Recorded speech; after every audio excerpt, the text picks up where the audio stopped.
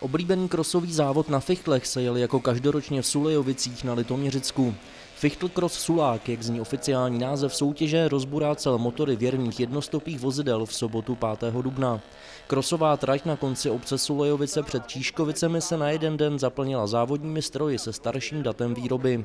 Hlavní závody se jely na motocyklech Java 50, takzvaných fichtlech. Je to víceméně dvakrát ročně, jaro podzim se jezdí, s tím, že v tuhle chvíli se to jezdí zpětně nějakých, řekněme, 10 let. V tuhle chvíli máme 21 strojů přihlášených, posádka většinou je dvoučlená, to znamená na jeden stroj dva piloti a rozdělené kategorie jsou speciál, sport a stodolák. Tam samozřejmě se to liší podle toho, jak velký úpravy a zásahy jsou do těch motorek. Kategorie tam asi sport a střední je taková nejobsazenější. Závod je na dvě rozjížďky, první rozjížďka má 40 minut, druhá rozjížďka má 60 minut, postupují úplně všichni a všem, kteří dokážou jet těch 40 plus 60, eh, si budou mít sečtený kola s obou rozjížděk.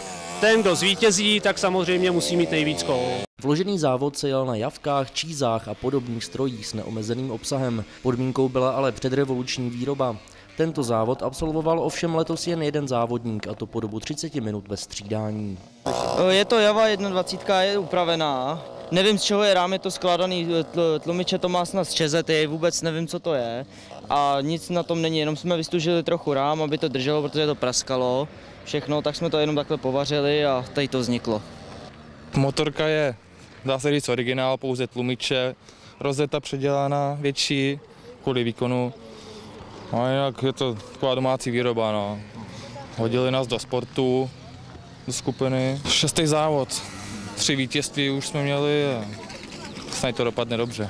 Klasický pionýr, skoro bez úprav, je tam trošku upravený válec, vejfuk, něco málo v karburátoru, je tam jiná vložka ve filtru, všechno tak nějak, aby to vypadalo originál.